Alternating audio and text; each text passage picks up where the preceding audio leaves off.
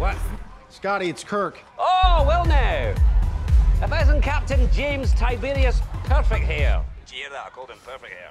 Well, where are you? Where are you? Are you drunk? What I do in my private time is my business, Jimbo. I need you to help me out with something. Will you take these coordinates down? 23, 17, 46, 11. Are you writing? Uh, what, you don't think I can remember four numbers? you little faith. What was the third one?